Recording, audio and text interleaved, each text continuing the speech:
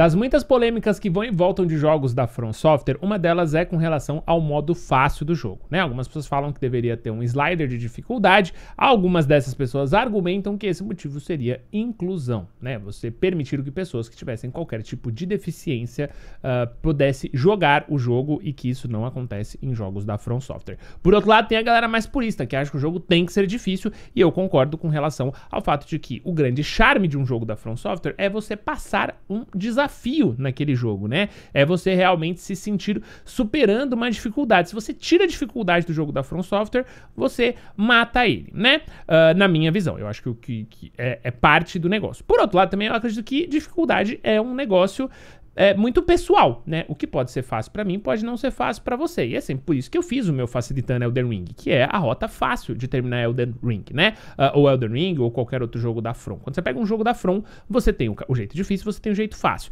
Uh, você tem ferramentas no jogo que facilitam a sua gameplay. Então, se você quer jogar o jogo facilmente, né? Eles, mano, que nem nessa DLC de agora, a parada é simples. Você pega um item, você deixa o seu inimigo mais forte você fica mais fraco. O negócio é tão óbvio que o que a galera que é mais purista achou que era um absurdo você usar, que você não devia usar. Mas também reclamavam quando morriam com um, dois hits do boss, né? Porque não queriam se balancear, né? Ao mesmo tempo, mano, que conforme o tempo vai passando, agora se você for procurar, tem umas 40 builds que facilitam a build é, para você matar o Radan, tá ligado? Que é um, um boss extremamente difícil. Então, assim, uh, acontece isso com frequência. E, de novo, é um ciclo, tá, gente? Todo jogo da From Software acontece a mesma coisa. Aliás, uma vez por ano, mesmo sem jogo da From Software, isso se repete. E eu queria frisar que eu acho muito importante a gente lembrar que videogame também é um pouco desafio.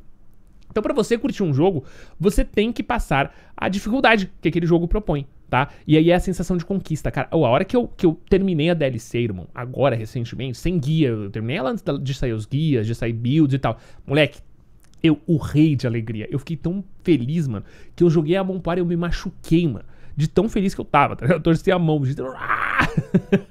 então, assim, essa é uma sensação que só o jogo da From propõe, e não é à toa que os jogos da, da From estão sendo o sucesso que estão sendo, porque eles conseguem balancear isso de maneira muito interessante. Mas aí vem a polêmica muito engraçada do dia, tá? Que agora é o seguinte: tem uma produtora é, gringa, que é a Alana Pierce, eu vou colocar um trechinho do vídeo dela aqui. Uh, porque ele vai ilustrar bem o que, o que aconteceu. Mano, pra mim foi engraçado, tá? É um pouco trágico, mas é um pouco engraçado também, tá? Tá com aquela legenda automática, mas é, resumidamente, eu vou até tirar um pouquinho do áudio dela aqui, ó. E ela vai falar sobre as questões de deficiências de longo prazo e as deficiências situacionais, certo? Existências, é, deficiências temporárias. E é, por exemplo, você jogar se você tem um filho. Você tem um filho de dois anos, você está tentando pausar o The Ring, você não pode pausar. Isso é uma deficiência situacional que você tem onde o jogo não tem a opção de você poder pausar. Por exemplo, é um obstáculo para aquela deficiência específica. Você pode precisar fazer uma pausa para impedir que seu filho enfie uma, um garfo numa tomada, né? Enfim, então, esse é o ponto, tá? Ela falou nesse vídeo alguns pontos como esse. Outro ponto que ela falou que eu acho muito interessante também é que uma pessoa que tem uma, uma uma questão que necessita de inclusão, ela não quer um modo fácil né? Ela não quer um slider de facilidade, mas ela quer uma dificuldade adaptativa. E aí o que acontece, mano? Eu acho, é, de maneira geral, sempre acho a, a, a Lana Pierce muito, muito sensata. E ela fala umas coisas muito interessantes. É, é uma influenciadora que eu acompanho há alguns anos já.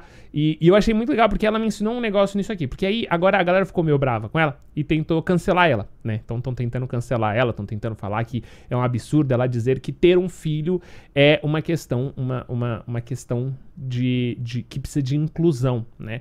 E aí a galera, mano, tá querendo muito cancelar. Tem a galera que já não gosta dela. Você sabe, mano, sempre tem a galera que não gosta do fulano por causa de uma visão diferente sobre o mundo. E aí tudo que essa pessoa fala, de repente, tá errado, né? Mas aí, nisso, eu achei um negócio muito interessante que eu vou mostrar aqui para vocês, que, que me fez pensar muito, né? Uh, que a gente tem aqui essa tabela. Essa tabela é da Microsoft. É, ela tem uma versão, uma web page em português. Uh, mas eu peguei essa aqui porque tava ali mais fácil no Twitter. Uh, essa versão, essa imagem já trabalhadinha, né? Em inglês, mas eu vou explicar mais ou menos o que está acontecendo aqui. Aqui ele fala sobre questões que necessitam de inclusão, né, deficiências uh, permanentes nessa primeira, nessa primeira fileira, temporárias e situacionais, né? Então, por exemplo, na questão do braço, né? Então, às vezes a pessoa somente tem uh, um braço, né? É uma questão que ela precisa de acessibilidade, de comandos que funcionem com uma mão só. A temporária é quando você está com um braço machucado, né? Então, às vezes você quebrou um, um braço. Então, o fato de você às vezes ter um acidente e isso te impossibilitar de fazer coisas do seu seu dia a dia, da sua rotina, vira uma questão que a gente tem que tratar como o design de solução para inclusão, né? Então, o design ele é uma maneira de você criativamente superar dificuldades, né? Ou superar desafios e tudo mais. Então, o pessoal que faz design, quando você a Microsoft fornece esse tipo de material para a galera, para entender o que você precisa trabalhar quando você está tentando fazer um design mais inclusivo. E aí vem o situacional, que é quando você é um novo, um new parent, né? Então, você é recentemente um, pai ou mãe de alguém. Então, você, é, no caso, você não tem um braço às vezes para jogar porque você precisa cuidar do seu filho. E aí, esse aqui é uma das situações onde a, a, a Lana comentou ali que ela acreditava que um botão de pause no Elden Ring seria útil, né? Um botão de pause direto, porque é, a, questão de você não poder pausar diretamente o Elden Ring, né, ou um jogo da From, é, não quer dizer que o jogo não tem pause. Ele tem pause, tá? Sempre tem um modo de você pausar. Tem jogos que você abre o modo foto para pausar. O Elden Ring tem alguns cenários, se você clica na aba de ajuda, que você pode pausar o jogo. Então, por que não tem um pause direto, né? Que não, não ia tirar nada da dificuldade do desafio do jogo, mas é, levaria isso aqui, esse tipo de situação em condução, né?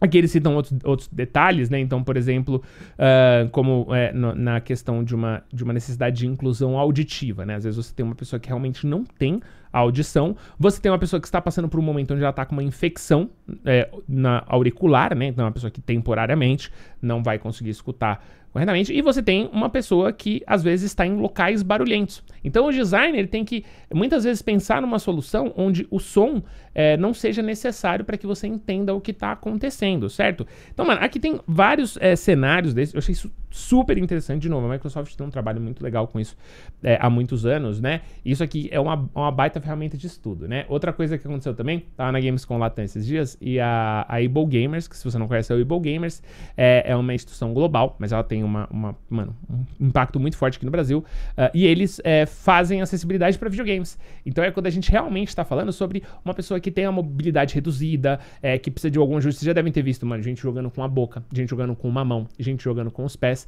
Uh, e eles têm esses projetos, né? Então eles tornam isso mais acessível, principalmente aqui no Brasil, que é tão difícil da gente ter acesso a essas tecnologias porque acabam sendo caras, né? Então eles popularizam isso, eles fazem arrecadações e com essas arrecadações eles fornecem equipamentos para pessoas que têm situações, no caso, permanentes aqui, né? Uh, mas eu achei muito engraçado, mano, porque agora a polêmica toda está no botão de pause que, que, a, que a, eles estão obviamente distorcendo o que a Lana falou, né?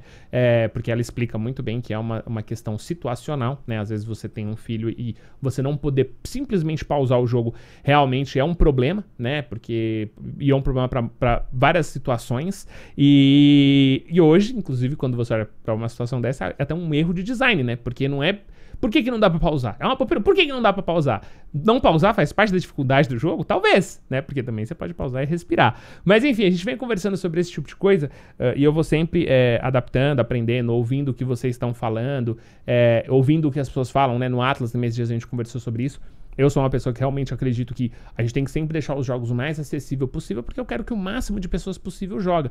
Mas hoje fica cada vez mais claro para mim que os jogos da From, uh, eles têm ali um jeito de se jogar, no qual você, por exemplo, a dificuldade, muitas vezes, ela não é um fator que atrapalha tanto, tá? É, de novo, se você zerou com Summon, eu zerei com Summon, irmão. Não quero nem saber. O cara quer desmerecer. Não, zerou com Summon, nossa, que absurdo. Mas o cara pega uma build que mata os inimigos com dois hits, tá ligado? Então, então pô, aí você tá me tirando, né? Então, é, eu, eu acho que você tem que ter a opção de poder colocar desafios para você. Então, pô, não quero, não quero pegar os fragmentos da Terbury. Mano, vai fundo. Não quero usar Summon. Vai fundo. Mas você também não pode querer reduzir é, a experiência de outras pessoas por conta disso. Mas, ao mesmo tempo, também, é, não vamos confundir a, a mensagem, né? Que ela falou. Não é porque uma pessoa, às vezes, ela tem a movimentação reduzida. Mano, o quanto de gente que eu já não vi jogando, é, pessoas que tinham é, questões de acessibilidade, né? Ou seja, jogando com uma mão só, às vezes utilizando outras partes do corpo para jogar. E essas pessoas elas querem sim o desafio, o mesmo desafio todo mundo tem, mas condições de jogar aquilo, né? E de novo, o negócio do pai é muito engraçado, né? Porque você de fato pode ter uma criança de colo e você não vai ter aquele, aquela, aquela aquele braço disponível naquela hora. Por que, que você não pode pausar o jogo, né? Mas eu queria saber um pouquinho da opinião de vocês.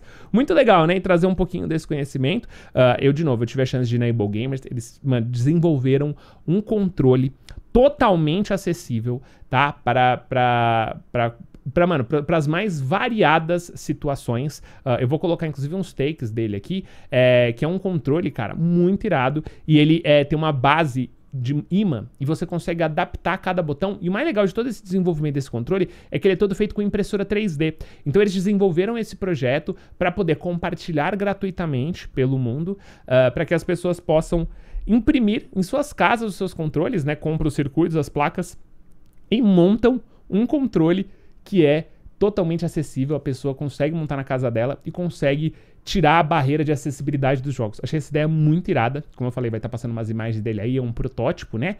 Uh, mas depois, se vocês quiserem saber mais, a gente pode conversar mais sobre isso. Mas eu queria saber a opinião de vocês sobre a polêmica. E aí, pode pausar o The Ring ou não pode? Ih, usa Summon e pausa? Ah, não. Tá maluco.